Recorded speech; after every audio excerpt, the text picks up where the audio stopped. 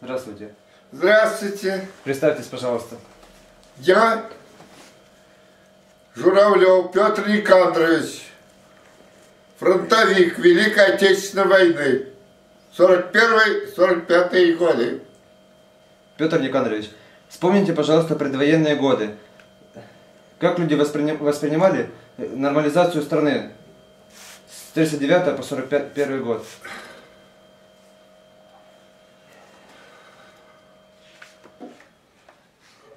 Я житель Владивостока, Приморский край. И вот где-то в 11 часов местного времени по радио выступал Молотов, председатель Нет, извините, министр иностранных дел Советского Союза. И он э, нам, это было э, 23 июня 1941 года. Он объявил нам, что э, мы находимся в состоянии войны с немецкой, с немецкой, э, э, Ге- с Германией, вот, которая э, в ночь на 22 июня 1941 года напала на нашу страну, нарушив договор, который между нашими странами имелся. Петр Никандрович, а вы речь Сталина слышали 3 июля? Обязательно слушал. И какое ваше впечатление было?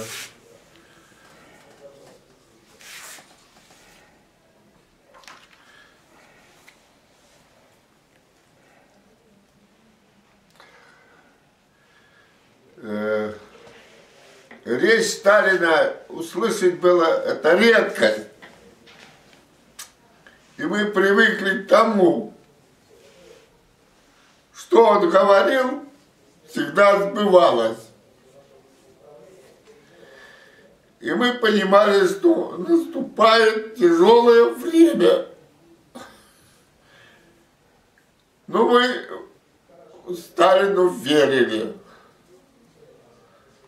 что победа будет за нами.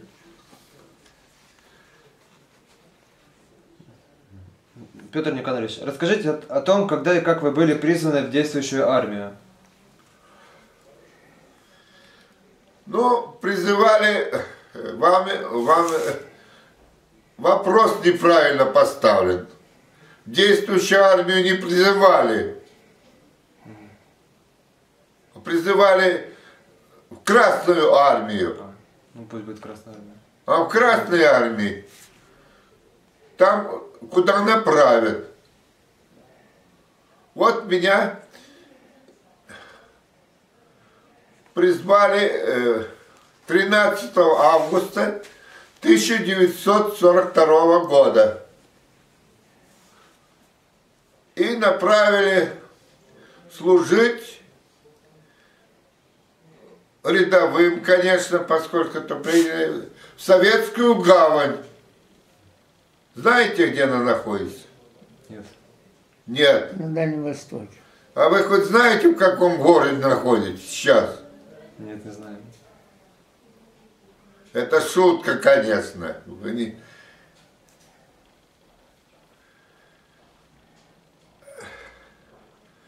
И вот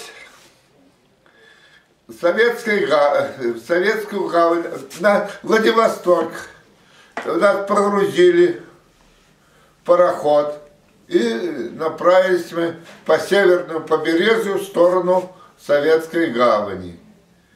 Э, По прибытии туда, это уже было 6 ноября, вот, 42 года, мы в летней форме одежды, э, в легких телогрейке, в пилотке, шли, э, был, был моро- была морозная погода, солнце, под ногами снег скрипел. И вот мы пришли или, вернее, нас привели в казарму, откуда э, перед этим все воины были направлены э, э, на запад, то есть на фронт. Казарма была очень большой, э, окна были без стекол, только которые были одеялы, все пошли э, на защиту этих окон, на закрытие этих окон. А в нас э, посредине казармы была, значит, печка большая, ну, печка с металлической бочки. Буржуйка. И туда э, буржуйка это изготовляет, а это просто прорубили дно и туда клали эти самые э, дрова, и они горели. А теперь нары были пустыми, без постели. И мало того, пустыми, еще и доски были убраны, а были э, сучьями от деревьев застелены. И мы немножко побыли, к вечеру повели, э, пос, э, приказали нам снять телогрейки, или куф, фуфайки их называли, вот, и повели в столовую на ужин. Пришли мы в столовую, там стекла на окнах замерзшие, покрыты льдом, холодно. И нам поставили на стол кастрюльку с первым. И разлили, мы покушали, и оттуда пришли. И, и так вот э, переночевали. Но у меня ничего не осталось плох, плохого. Ну, грустно, что я, я понимал, в каком положении находится страна. К этому времени у меня уже старший брат, лейтенант, погиб в Ростове. Вот. Был командир пехотного взвода. Ну, и нас готовили это был там десантный батальон. Нас, э, нам выдали лыжи, вот. Э, в казарме, конечно, застелили досками эти самые э, нары, матрасы положили, одеялы дали. В общем, очередная жизнь пошла. Вот. Но мы там были недолго. Там офицеры-запасники были, ну, э, вот. И потом нас, нам сказали, завтра отправляемся в поход. И мы пошли, э, э, утро, я, конечно,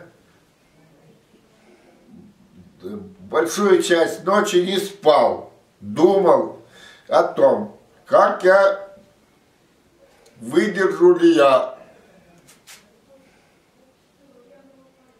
фронтовую жизнь. Потому что она была тяжелая, а мне 18 лет. И вот мы шли, шли, весь, весь день. Потом остановились, разбили палатку на снегу, палатку, хвои эти лапы их называют, застелили. Вот. С нами лошадь, запряженная в сани, там продукты были. И я сейчас не помню, какой, как, что, какой ужин, ну, покормили ужин, и мы поспали. Потом утром опять пошли.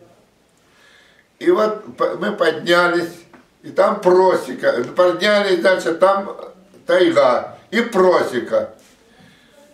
И вот если, а у нас на ногах валенки, и если с этого тропки, с этой, которая проложена первыми, э, ошибешься, станешь, что, а там ветки, просеки, бревна забрали, а э, ветки все остались. Вот, то, то и валенок там останется. Поэтому многие побросали лыжи. Я не, не оставил. Я э, шел, и потом спуск. Я нашел большую палку, оседлал ее и, и спустился вниз. И та, э, э, там речка, лед. И там уже я оставил лыжи. И привели нас в школа. Школа, пол красы, чистый, краски покрашен. Мы там остановились. Ну, а постели и уже мечтать не приходилось. Вот, хорошо, что на полу и в тепле. И вот повели нас на ужин э, в гражданскую столовую. И мы там ужинали. Но мы уже потерялись, кто кого знал. И кто, если имел аппетит хороший, второй раз пошел поужинать. Вот, потому что контроля не было такого. Ну и в том числе я пошел. Пошел, что я там кушал, все, из-за давности времени я, конечно, да это и не столь э, значимо.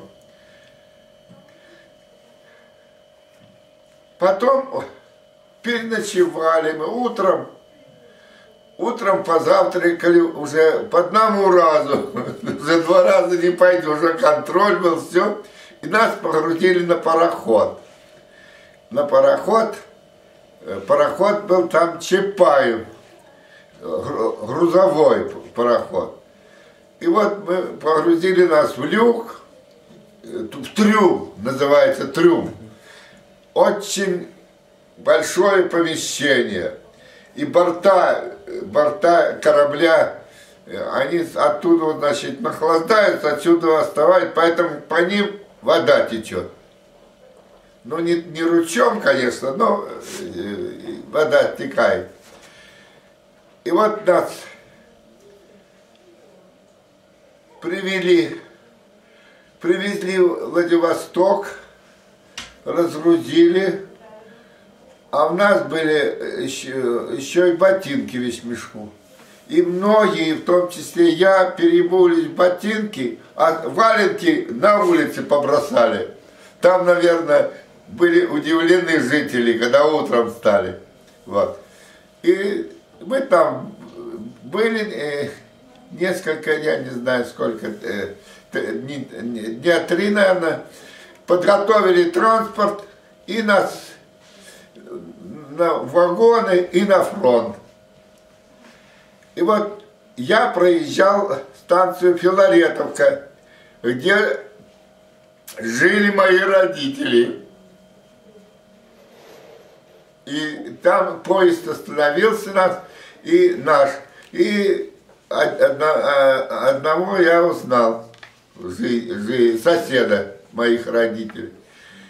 И так мы проследовали Хабаровск, там город свободный есть, за свободной выехали, и нас начали переодевать в зимнюю одежду.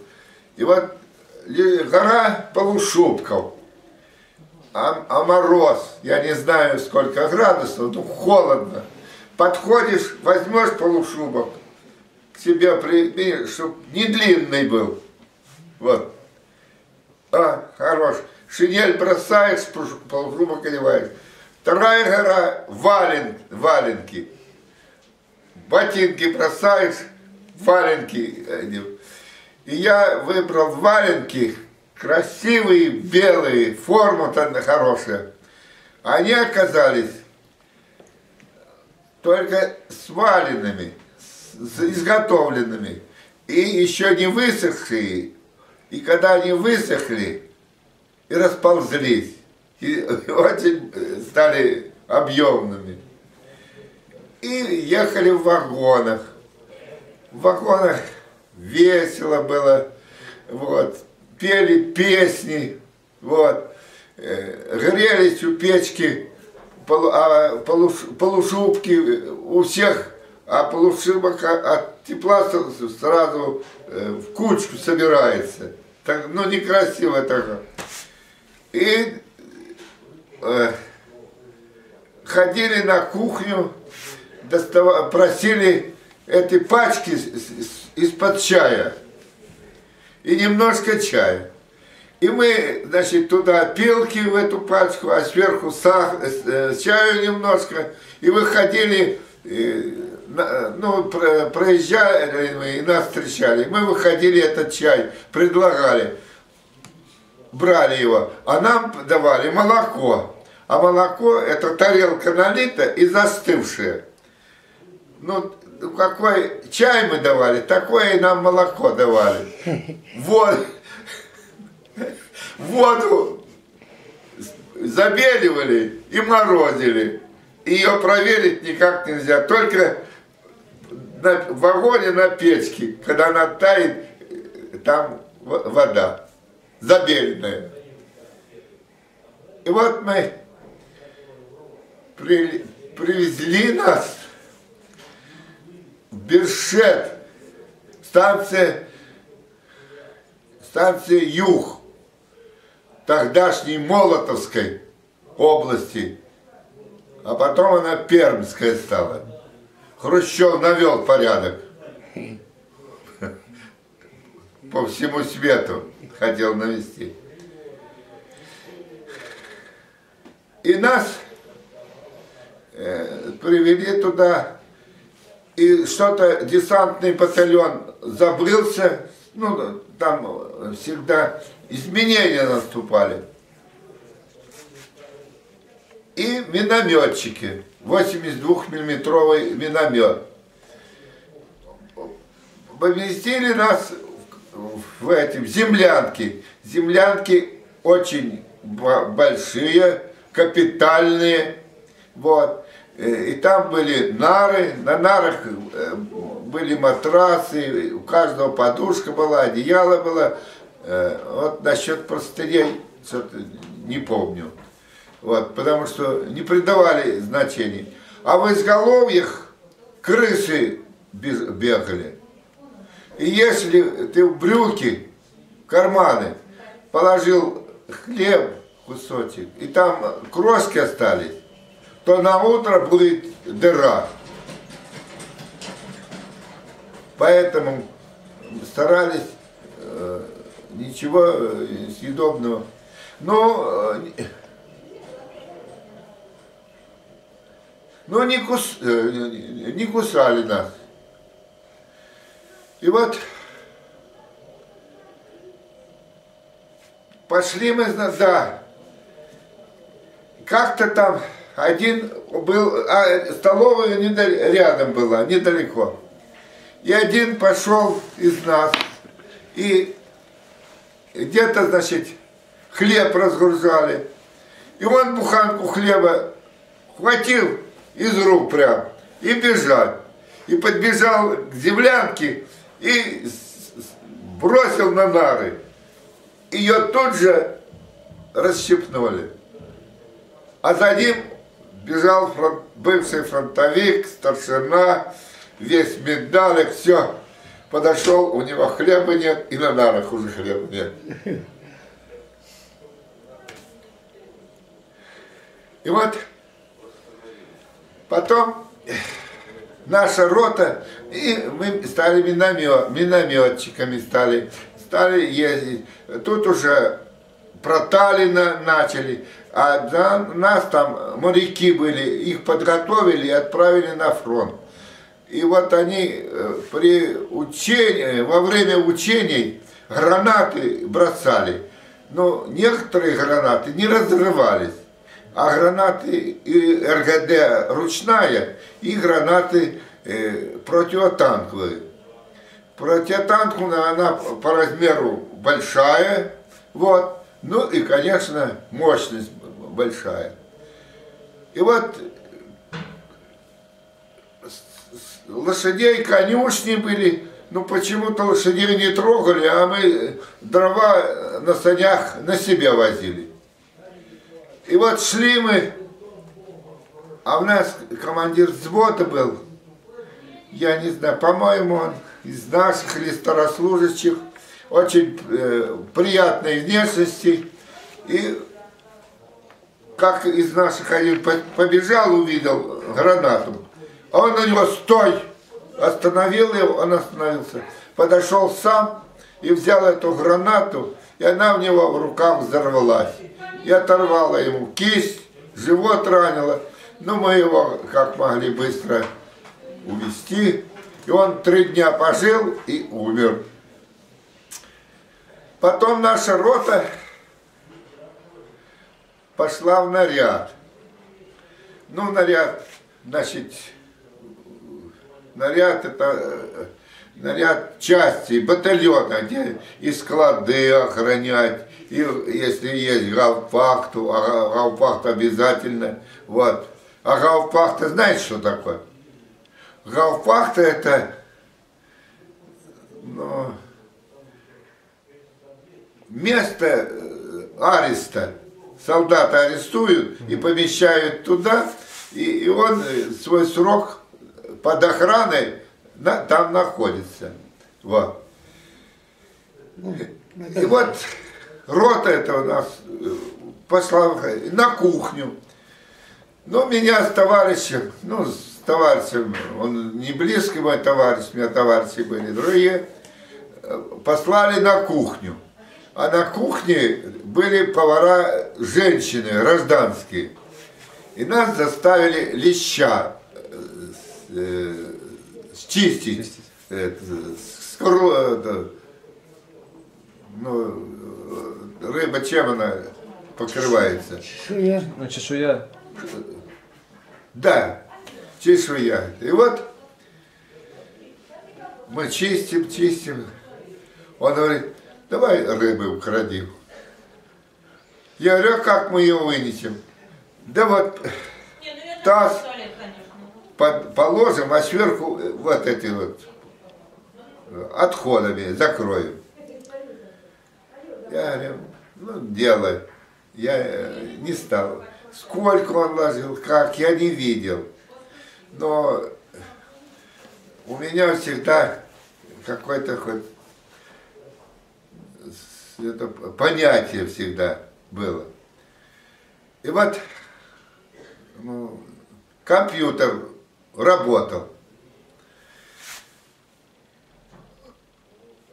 Приходит повариха смотрит, отходов много, полный таз, а чищенной рыбы мало.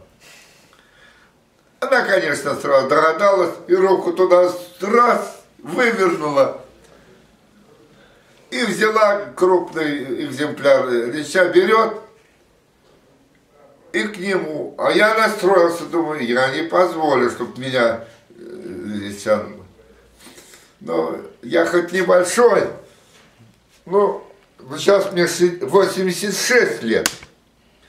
А тогда мне было 18. У меня селища была такая, что... И вот, я думаю, не... Она почему-то, давай того шлепать по лицу. Отшлепала. А я ему показываю, чтобы он не говорил за спины этой женщины кулаком.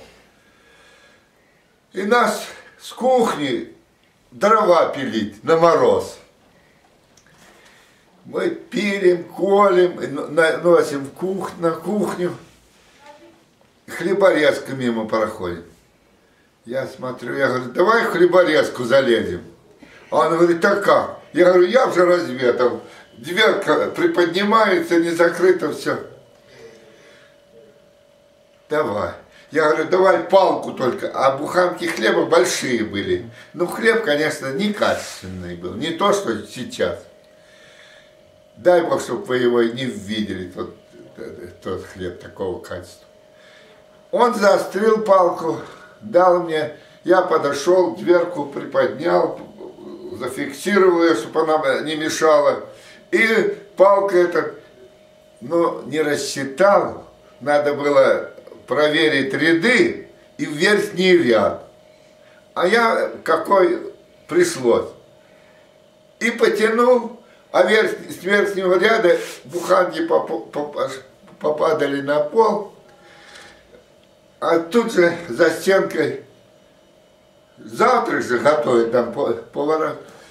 В лепорез кто-то залез, зашумели. Мы сразу все бросили к дровам своим. А тут один из наших шел от, от, от землянки с винтовкой. Выскочили, он тут, его схватили. Мы подходим, а его Волков фамилия был. А нам говорят, Волков в хлеборезку залез. Видите, проходили, какой, ну, недисциплинарный какой был. Вот. Ну, и, и все. И потом... Расскажи, как на фронт скопали. Потом погоны, погоны. Нам должно быть один треугольник, младший сержант, два треугольника сержант, три треугольника старший сержант, четыре треугольника старшина. А кубики уже, уже э, один кубик младший лейтенант, два э, лейтенант, три старший лейтенант, шпала капитан, две майор, три шпалы подполковник, четыре полковник, и дальше были эти самые звезды все, там генеральские, вот там э, по-другому по было название, как, как потом. И вот наступил 43-й год, переходить на погоны. И нам митинг с, погоны, и нам, значит, э, по две лычки нам дали. И выпуск здесь, вот, э, уже питание лучше, давали белый, дали белый хлеб, масса сливочная. А это положено э, курсантам, которые на офицера, а нам почему-то дали, сержантам. И вот построили нас и повели. Куда, что, никто никогда не говорит. И меня вызывают в штаб батальона. А я шел, крайний шел, в строю. Я пришел туда, там офицер сидит, я не, не знаю, предложил он садиться или не предложил, говорит, вы знаете, куда вас ведут? Куда вы поедете? А я, хоть мальчишка был, думаю, если я скажу на фронт, от него не отстанешь. Он сказать, откуда ты знаешь? Тебе кто сказал? Я говорю, не знаю. Нам, я говорю, не сказали. Так вот, на фронт. Вы через неделю в бою будете. Ваша кличка Петров. Петр. Петров. Будете в бою, пойдете в бой, будете следить, прислушаться, кто, может, в плен собирается, может, диверсию какую совершить, все. И будете, а по приезду э, э представители СМЕРШ представитесь. А СМЕРШ – это смерть немецким, смерть шпионом, не немецким, а шпионом, всем шпионом. И вот представитесь, и в бою будете, и будете доклад, записку писать, и подпись свою Петров ставить. Идите. Я догнал, никому не говорить об этом. Я догнал, и, и пришли на, э, не на станцию, а на какой-то перегон, там стоят вагоны, вагоны были, вы их, наверное, не видели, сорокатонные, двухосные. Эти сейчас сколько? Шести лосей, да? А тут двухосный. Вот. Вагон, конечно, товарной, нечистой, но там было сено уже, поскольку это было, э, а, ну, летом было еще. И вот мы расположились, так грустно, на фронт нас никто не, по, не, посыл, не, не, не провожает. Никто не провожает, никого гражданских нет. И вот погрузились, и поезд пешим шагом тронулся. А оркестр рядом стоит, синенький, скромный платочек. Как заиграли, вот так выворачивает душу. Этот заканчивается следующий, там, наверное, оркестра три было. И вот мы приехали туда, потом я попал в танковый корпус минометчиком и на Курскую дугу. И на Курской дуге наш корпус был в резерве, в главном командовании. Потому что там было, э, я уже говорил, три танковые бригады и четвертая мотострелковая бригада была. У нас были в бригаде самолеты были, тесак кукурузники, и Катюши были, все. И вот этот корпус в резерве был. Если где-то слабо, нас бросали туда. Мы устраняли э, обстановку, вот, если сложная была. И в обороне. И так э, там мы были, оттуда корпус направили на левобережье Днепра, Запорожскую область. Вот. И там такое там колодцы с горько-соленой водой. И если было редко, и вот в один колодец ходили за э, воды брать, и немцы ходили, и мы ходили.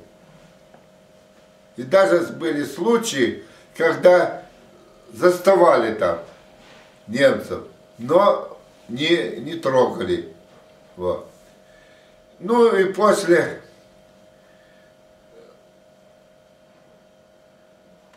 после, значит, турецкий вал, или перекоп его называют. Знаете, где он? Ну, это туда, Крыму туда. И вот мы стояли там, все тихо было, все. Потом, я, наверное, слишком подробно, да? Нет, нет, все хорошо. Ничего, да? Да. Хорошо. У вас время есть? Да. У меня это... И вот мы установили минометы, все, луна светит, все хорошо. И потом смотрим, идет Бурки, я полковник, командир полка, приказ получил отступать. Ну, он прошел, и тут начался арт, арт-налет немецкий. Я в окоп свой оставил сверху винтовку, весь мешок. Все изрубило осколками. А рядом, смотрим, только ноги в ботинках торчат. Прямое попадание, и его убило и засыпало. Ну, раз пехота отступила, нам команда э, тоже отступать. И вот мы идем, а немцы... Но они что-то, может, говорят, но мы это не знаем. А, и, и, нам кажется, как, как собаки лают. Вот. И ракетами у нас стреляют, а ракета, на кажется, пропеллер, и она дает такой звук, как снаряд как будто, а снаряд при полете воет, вой, вой такой. Мина так воет, снаряд по-другому воет, болванка по-другому по, по, по воет, а болванка это целое, это по танкам их. Вот. Потому что танк стреляет, а все пригибаются, да, шумит летит, это самое, болванка. -то. И вот ушли вы, ушли, вышли на на ровное место, а на этом месте была, э, был наш кавалерийский корпус. И немцы разведали, и авиация его разбомбили. И там много лошадей лежало, живые, но не ходячие. Не, и некогда было, ну, наверное, и некогда, ну, не, некому нельзя, некогда было пристрелить их, раненых. И они ревели, ну, а которые уже разлагаться начали. Луна скрылась, темно, а я иду, у меня двуногая плита, опорная плита, двуногая лафет, а опорная плита 23 килограмма. А на мне что? На голове каска, через плечо скатка, шинель, в скатку заложена. Э, противогаз. Э, теперь э, за спиной опорная плита 23 килограмма. На ремне стеклянная фляга. У немцев алюминий были, а у нас стеклянная была в чехле с водой. Рядом две гранаты, патронтаж. Справа шансовая лопата. Ну, лопат, лопаты в немцев были, переламывались, они укорачивались почти вдвое. А у нас, если ты маленький рост, то ручка почти до полу касается. Вот. И вот идем мы, меня в живот, ствол автомата, стой, назад. Я говорю, есть, есть назад. А офицер сидит в этой воронке большой и кричит, стреляй их, гадов, то есть нас. И я пошел к своим туда и ушли. И ушли, и когда мы шли, одного многих убило, остали, многие ранило. И он пришел, что-то его не лал, тут, и пуля выс, выскочила. И он говорит, возьми на память. И немножко прошло, вот такой отек получился, и он заорал там, больно ему, ну, повозка отправил их. А это катакомбы в песке, выкопаны вот такие, там без всякой... Я стенку попробовал, она сыпется, песок. И вот утром приказ нам, мы вернули то, что оставили немцы, территорию. Вот там-то были, конечно, потери. Вот. Я, я остался невредимым, меня не тронуло. Вот. И потом пошли на Крым, Севаш, квартировали Севаш, вот. А, а Крым, это ж Крым э, полуостров, он с материком э, соединяется, там стрелка называется, а так Севаш. А Севаш глубиной по колено, а там дальше Нил. И там с турецкой войны трупы. И можно определить, что это мужчина. Сохранились. Вот. Потому что там большая концентрация соли в, этом, в этой воде. И вот мы переправились, там переправа была отсыпана, мы переправились. И вот, да, а три дня летали самолеты, бомбили в Крыму немцев. Значит, Ил-2 штурмовики, первый ряд, второй ряд петляковые двухмоторные бомбардировщики, а по с флангов, по краям истребители сопровождения. И вот идет волна, отбомбиться оттуда, строем оттуда как попало. И вот мы окопались, установили все. И оттуда возвращаются, и один истребитель прямо нам на окопы дымит, хрипит. И сел, и перевел, э, спотыкнулся. Он же колеса выпустил. Мы подскочили, вытащили младший лейтенант, молоденький, красивый такой, э, в, этом, в кирзовых сапогах, солдатский ремень. Мы говорим, что случилось? Пан фронтовику обидно. Иван, что случилось? А он говорит, а там религиозный праздник был. Он говорит, туда я сопроводил бомбардировщики, оттуда мы, как говорит, летели. И вот немцы, говорит, с нашими женщинами гуляют. И мне, говорит, я спустился, говорит, а патроны, говорит, были из пулемета. И походил. И вошел в азарт, развернул, а я смотрю, говорит, горючее есть. Развернулся еще до второй раз. И тут я, говорит, с вышел, говорит, и зенитка меня подбила, вот мотор. И я, говорит, еле дотянул. Но меня, говорит, накажут. Пока что, позвонили, приш, пришла машина и ввезли его. О. И дальше пошли. Вот, пошли. Женщина бежит, а у нас гармонь была, на студабекера. Песни поем женщина, э, немец, сколько? Один, один с пистолетом бегает, вилы возьмите закалить, а мы не можем. И мы поехали, поехали дальше. И Джанкой взяли. Джанкой брали штурмом. Вот. Но когда это уже, а вот когда начало было, когда мы пошли, заняли село, я думал, первый день войны, я думал, мы остановимся.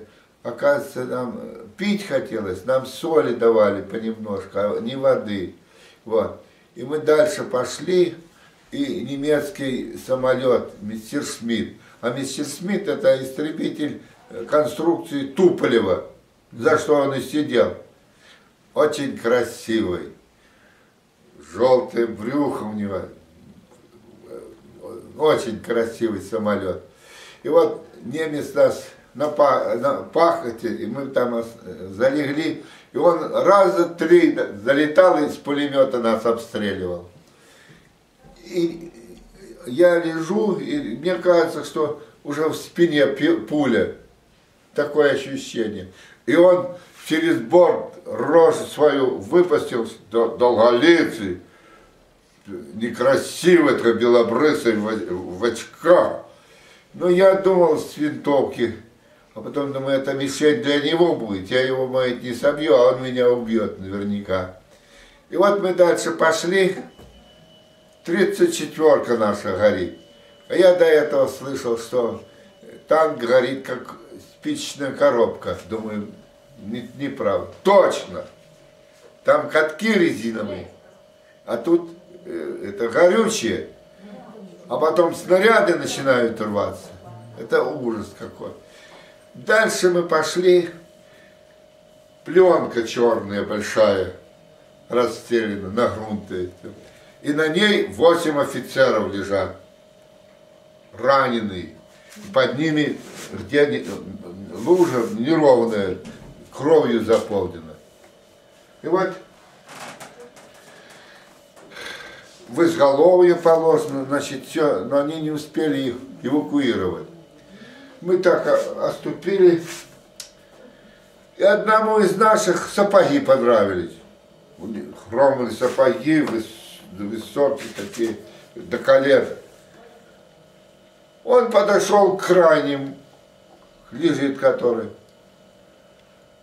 Они в форме, ничем не одеты, просто так, у кого что перевязано, раненые.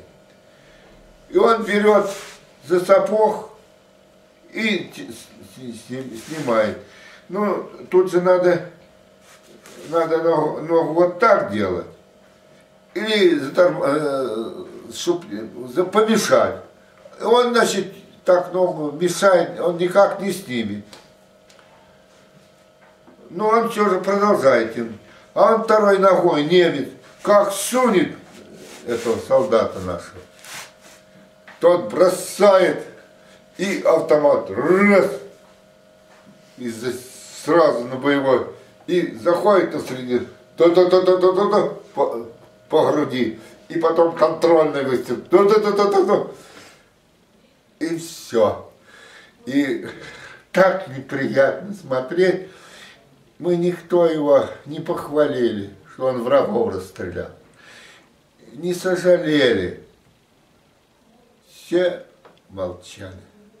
И все, пошли.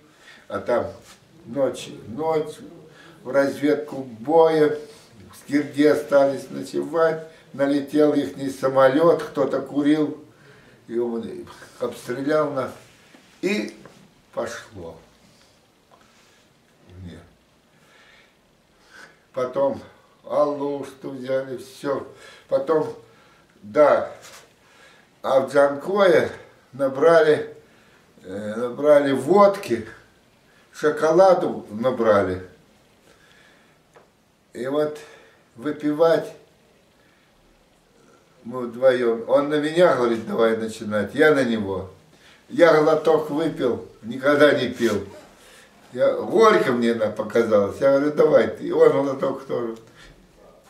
И мы взяли и забросили эту бутылку. А шоколад. А майор, у нас замкомандир батальона, говорит, ребята, оставьте мне, говорит, коробочку, короб, коробок. Вот. Не ящик, а бумажные коробки, вот, где шоколад был. И мы его оставили два, возили на, на машине, американские машины у нас туда бекеры были. И вот Сапун гору штурмовали, и его убило. А потом пошли на Херсонес слева, справа Севастополь. Севастополь взяли за три дня, а сдавали его, не знаю сколько дней, месяцев сдавали. И немцы видят безвыходное положение, построились и идут к на, на нас. Командование думало, думали, что они идут в психическую атаку. И 34-ки. А 34-ка танк, это маневренный, и броня хорошая. И начали давить. Вот. А потом уже появился у нас Су-2, Су-3, вот который видели вы на площади да. стоят. Тот вы, орудие 100, 152 на самоходке, на танке 122, а на самоходке, а танк и самоходка это одно и то же, только того башня вращается в танке, а самоходка нет. Как выйдет, тигры прячутся. В 43 году воевать уже было интересно. И интересно, займешь город, твое, как Суворов, Суворов говорил, ваше все. Все. Ну, мы, конечно, тогда имели, имел в виду это женщины, ну, у нас, а здесь другое было. Все, значит, все, хозяева. Ну вот, а после, после Крыма, после Крыма, под Тулу на формировку, оттуда в Литву, Латвию, от, от, и там мы потеряли все танки. Четыре танка остались, и то без башни. И вот литовцы, там танки эти подрывали их на части, они на лошадях и грузили, они на, станцию возили на переплавку. Вот. И оттуда в Румынию. И в Румынии закончилась война. И я там шесть лет в Румынии, в Венгрии, в Австрии. И оттуда, и оттуда уехал в училище на офицера, Новочеркас. Получил лейтенанта и пошла службу. И тут уволили в запас в 56 году. Петр Никандрович, а вот ну, на фронте были ну, люди разных национальностей. Это был плюс или минус? Ну, немцы рупор устанавливали на передовой и говорит, Русь плен. А казах сидит, или узбек, э, как их, а Елдаш не нужен. Но это не шутка, это было на самом деле. И вот одно время было через реку лед был, и там тянули провод и порыв. И один хорошо на коньках катался, и вы, вышел на лед, и все смотрели. И он нагибался, как бы конек поправить, и провод скрепил, сцепил, и связь, связь наладил. И живой остался. Петр Никандрович, ну а кого в армии считали ну, самыми ну, выдающимися полководцами?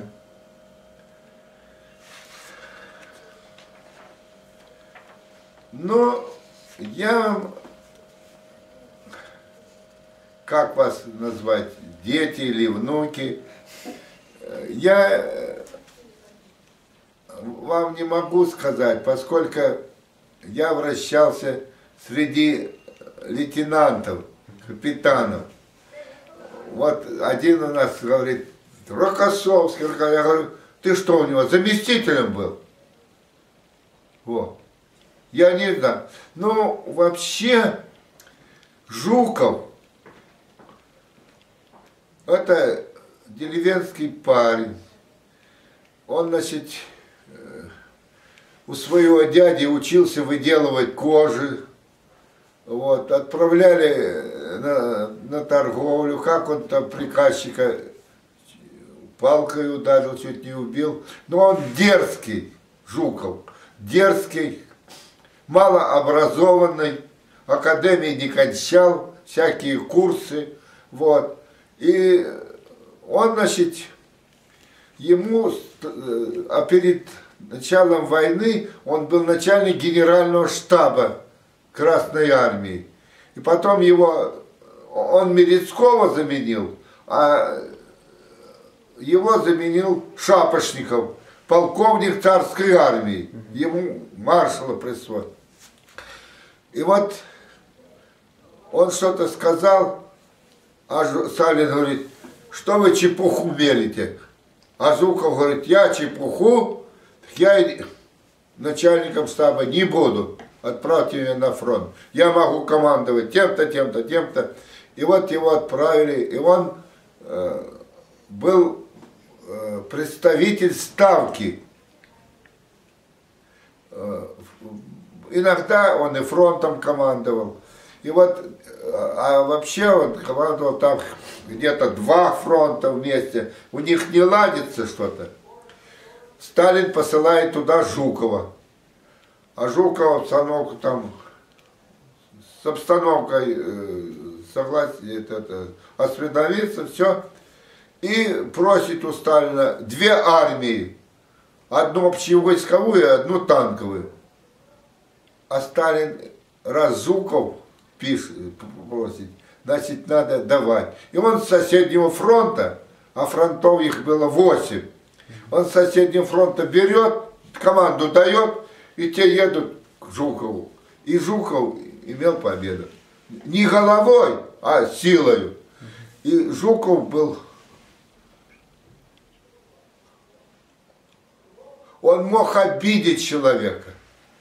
Генерала, высокий пост, он мог э, перчаткой отшлепать по лицу. Вот. И многих собственноручно расстреливал за какую-то провинность. Но вы лично этого ничего не видели, да? Я его не видел. То есть вы так просто, ну, по слухам, да, своих товарищей ориентируетесь? Ну, видите, это все, все вот это, что я рассказал, то, что я лично прошел, а то, что за Жуков все, э, он книгу написал, Жуков, я ее прочитал, и другие э, книги я читал, вот то. А в то время я ничего не знал, я рядовой был. На мне вот что есть, и мне что скажут, я выполнял. Вот. Я даже не интересовался, какой фронт, кто командующий, меня не касалось. Вот. Петр Никандрович, а как встречали вас люди в освобожденных городах и селах? Очень хорошо. Потому что я вот за три года и, и за шесть лет за грани... службы за границей пальцем не притронулся ни до кого, не обидел. И меня никто не обидел. Вот. И не занимались мародерством, как Жуков занимался. Берлин весь ограбил. 4265 метров бархат одного взял, бархата и шерсти. Было у него что-нибудь в голове? А эшелон девочек посылает с победой домой. Они сидят, ножки спустили, стоптанные кирзовые сапоги на них. А он мог хромовые сапоги им пошить, там, или туфельки. И, и также отрезы тканей хорошие, дорогие, весь мешок. А он о себе беспокоился. Везде написано «Слава маршалу Зукову». Такие плакаты были. И, ну, Сталину доложили, ну, Сталин терпел его. По гражданским Берия был палач, а по военным палач был Жуков. Вот записывают, пусть люди послушают. Петр Никандрович, а как вы можете охарактеризовать отношения на фронте между мужчинами и женщинами?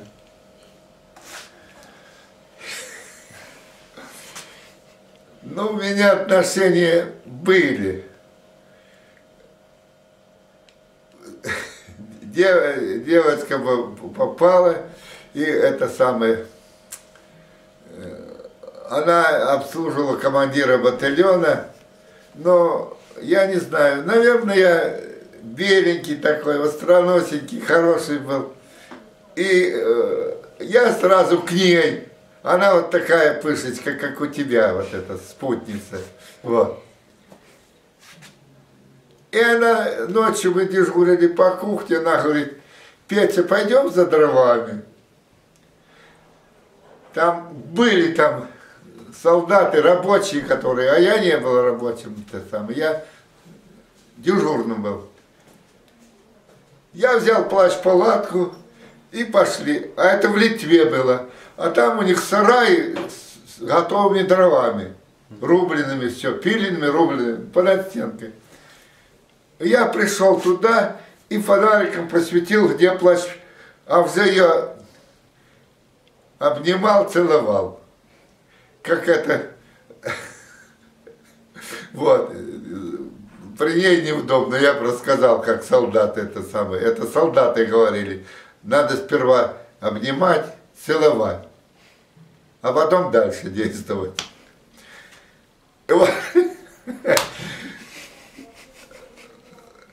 Пришли, я посвятил подарком, где э, плащ-палатку расстелить.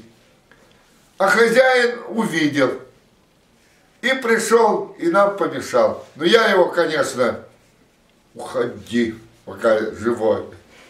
Но уже, уже не то, уже помешал. Вот.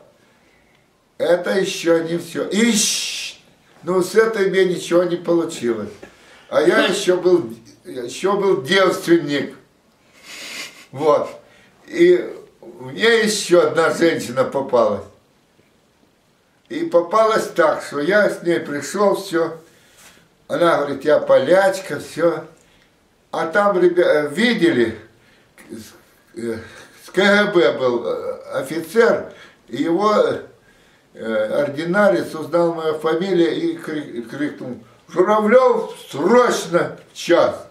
И я ее бросил и убежал. А утром пришел и исполнил то, что я хотел. Петр Ник- Никандрович, а как вы оцениваете нашу боевую технику? Ну, война шла на равных с врагом или нет? Ну, 43-й год, тут, конечно, э, перевес на нашей стороне. Вот. У них удобное, удобное снаряжение, удобное, я уже за лопату говорил, кот- котелок удобный, вот, удобное снаряжение, ремень, широкий ремень, кожаный. А у нас такой ремень, что вот это здесь бока э, синяки до крови дотирали. Я сказал выше, что, Да-да. что на ремне было. Вот. И патроны, и гранаты, все. Но, а в общем, в общем, я силы не ощущал. И вот приходилось брать плен, за что я за отвагу получил. Он, гад, стреляет, пока нет. Как к нему настал, он руки поднимает, Гитлер капут.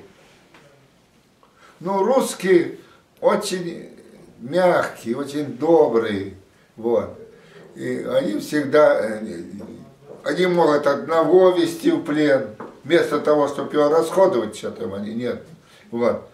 Так что, ну, а техника, техника у нас уже были американские автомобили. Студебекер. А Студебекер, это вы в машинах разбираетесь? Немножко. Немножко. Трехмостовой, впереди лебедка. А вообще, по, по документам, две с половиной тонны Студебекер. Это очень ценное. На ее грузили, сколько держалось. Она везет. Вот. Три моста. Два сзади и впереди. И передок ведущий. И лебедка. А лебедка это трос раскрутил, зацепился и подтянулся, и сам себя Форд 6 было. Машина, бортовая под брезентом. Джимси, Джи- Джимси, Шевроле, Додж три четверти и Виллюс. На всех мне приходилось как любителю ездить. Не, не, не шофер, а как любителю. Вот. Но винтовка, у них был хороший карабин, очень меткий. Был хороший автомат, он переламывался на... И вот я поймал немца, застрелил его, автомат себе забрал, вычистил его, все, а винтовку бросил. Украли у меня этот автомат. А мне нужно было за мной чиститься. Я винтовку нашел, она с загнутым стволом. Я пришел, ребята хохочет, говорит, да ты ж из-за угла можешь теперь стрелять. Ну, старшина говорит, бросай его, на тебе хороший винтовку. Вот. На фронте там, там свобода. Там тебя никто не обижает. Вот. И, и ты никого не обидишь. Там где-то что-то достали, все, Все дружные. все, как говорится, гор- горбушку и ту пополам. Вот. Петр Никандрович, расскажите, пожалуйста, о бытовых трудностях на фронте. Когда было труднее воевать, летом или зимой? Ну,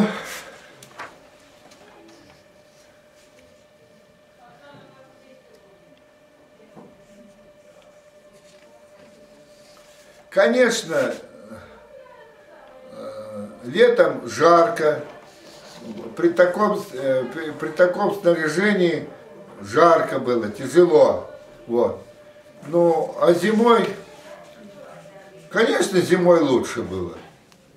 Зимой я, я э, плащ-палаткой закрыл снегом э, сверху, и та, а, а были по двое, вот, по двое.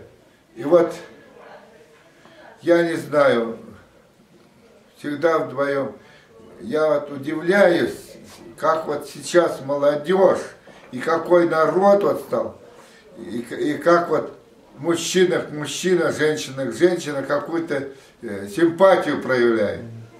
Я вот лежу, лежим мы на одном боку.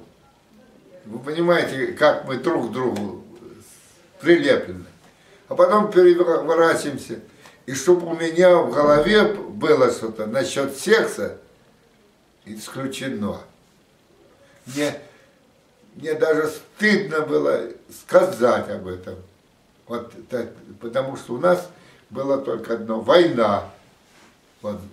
Мы ночь должны поспать, а утром идти в атаку, наступление. И вот утром наступление, немцы идут цепью, а ты с миномета стреляешь. И это мины в цепи их не ложатся. Видишь, как они падают. Знаете, как на сердце приятно. И тогда команду беглым и пош... отбили атаку. Петр Никандрович, а при- приходилось ли вам во время войны слышать о власовцах? Не как? Во время войны вы слышали о власовцах?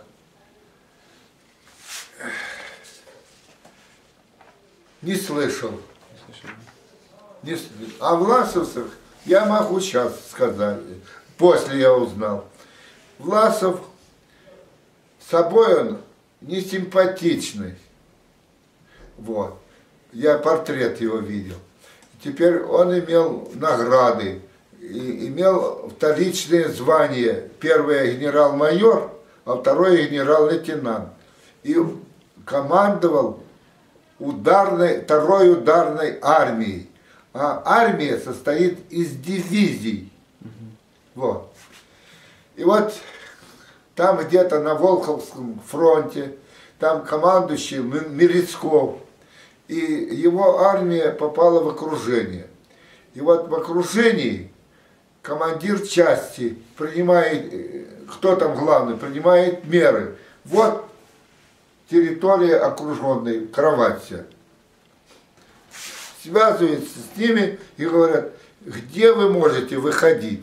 Скажите, мы вам немцам уничтожим в этом месте, чтобы вы вышли. И смотреть, чтобы там везде немцев не допускали вплотную. Власов этого, как командующий армией, не, не сделал, а собрался и пошел к немцам. В лесу были. И пришел к немцам и говорит, я такой-такой, генерал. Хорошо.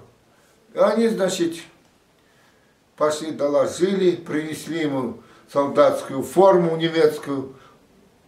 Я генерал, давайте мне форму немецкую, генеральскую.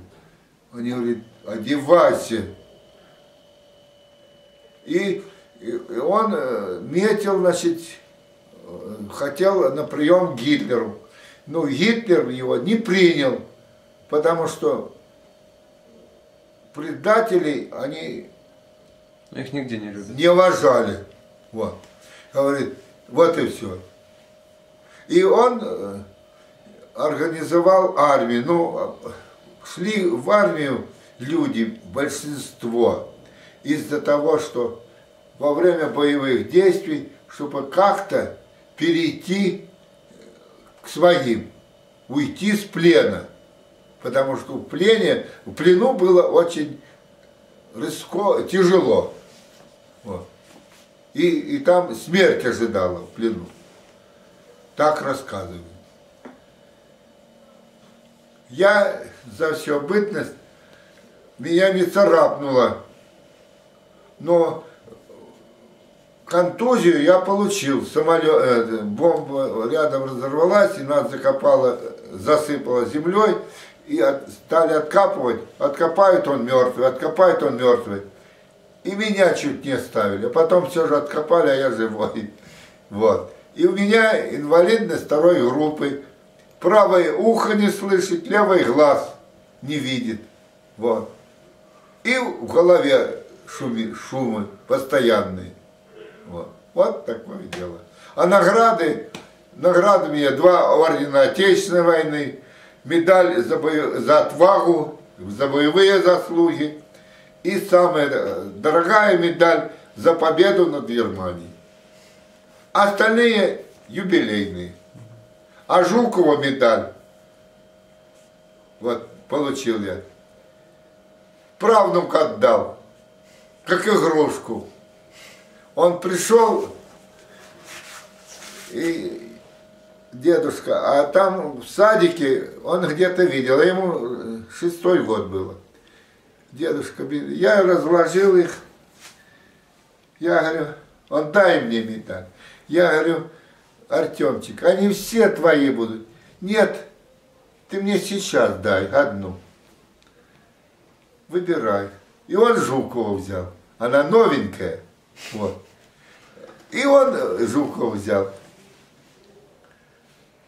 Но Жукова, я как почитал за его проделки все, я его перестал уважать. И вот он женщину возил, ездил на правительственных поездах и возил за собой медсестру, сожительствовал с ней. Старшего лейтенанта ей дал, и восемь орденов ей дал. А потом время пришло, он и еще она прерывала беременность с ним два раза. Все это написано. И потом он ее отправил домой, а сам на врачихе женился. Вот, Галина Александровна. И вот на снимке он 69-й год. Галина, эта жена молодая, сидит, коленки голые показывает. И внучка Маша стоит. И э, мать Галины сзади смотрит. И вот смотреть на этих всех э, четверых, можно подумать, что какая же у него эта теща не по возрасту, она слишком молодая. Теща, он старик уже. Вот. А она молодая, молодая, красивая, теща. Петр Никандрович, а во время войны вы слышали что-нибудь о наших союзниках? Вот про американцев. Была какая-то помощь, чувствовалась? Ну, то, что помощь, о помощи я знал еще до фронта, потому что я жил в Владивостоке, и мы ходили на разгрузку, на погрузку вагонов э, это, латунью броня, туда бронза и латунь добавляется при сплаве. И вот мы были в порту, там огромные ящики с салом. И мы удивлялись, с кого они сдирали это сало. Большие размеры. Коробки с сыром, консервы, одежда, что там только не было. А меня почему-то ставили всегда командиром. Я, это, наверное, рота была, я водил ее в порт. И там, там мы, это самое, занимались погрузку вагонов вот этими ящиками. А ящик длинный, плоский, и он если на пол ляжет, то все, на несколько человек его не сдвинешь. Поэтому старались всегда что-то подложить, чтобы ломом его потом можно. А так лом не подсунешь. И вот идти домой, ну, в казарму идти. Построили, одного нет. они не русские, не русских было, половина не русских. И вот там они, ой, курсак болит, в угол сядет, и это самое, один, другой, а русские ребята работают. Я думаю, ну что, дали мне сало, кусочек, я его подогрел, подхожу, беру его за шкирку, он спит, я ему намазываю рот. Ой, чушка, они не любили это самое. На меня, а, а мне ж тут русские, это самое. Ну, драки не получалось, ну, такие вот были. И вот нету, что делать? А женщина ходит, пломби, пломбы вешает на вагоны. На вагоны замки не вешают. А паровоз маневрирует, эшелон. Смотрим, с одного вагона капает, течет. Мы к ней, значит, все, а он пописать захотел. Не русский это. Открыли, и он перед дверью стоит. И чуть не ушли. И вот подошли на проходное, а все засаленные, потому что и сало, и сыр, все. Вот. И здесь рукаво на веревочку полоску или колбасы, или сало. Подходим. Ну что? Я как командир в стороне иду, а тут проверять вас. Все, а я никогда с собой не буду. На меня они брали. Проверяйте. Он говорит, ну, раз вы дружно так отвечаете, идите. А там, как назло, как назло ужин. Селедку дают. А селедку, значит, хлеб надо. Надо хлеб экономить. В порту там же колбаса, консервы, все. А нам селедку дают. А селедка вкусная. И вот этот хлеб весь съешь, а там без хлеба ешь. Вот так. Американскую тушенку приходилось вам есть? В неограниченном количестве. И как она? Вкусная? Вкусная. Она разная. Там и сардельки, и тушенка, разные. Вот. Потому что э, у меня, у меня, у меня красивый почерк. И я в старшины был, то, что я в расчете был, я еще как писарь был. Вот. И мне всегда приходилось таких вот быть. Так что тушенка для меня это не новость. Петр Никандрович, а где и как вы встретили День Победы 9 мая 45 года? Ну что делали и что чувствовали? День Победы я в Румынии встретил. И вот мы слышим что-то, стрельба, крики. Говорит, День Победы. Ну и, и, и тут и мы радовались, и все. Вот. Кормили нас румыны, закормили мясо, макаронами, хлеб выпекали килограммовый, каждому давали. Поразъедались вот такие. У нас только о девочках была и мысль. Вот. Ну, э, там шелковица, абрикос там только, фруктов там много. Э, румыны к нам относились отлично, они, они боялись, потому что они в союзе с Гитлером были, они против нас воевали, поэтому вот копает трубопровод румын. Ну что ты, а по-русски говорили они все. Да что, немец пришел туда копать. Русские пришли туда копать. А наше дело выполнять.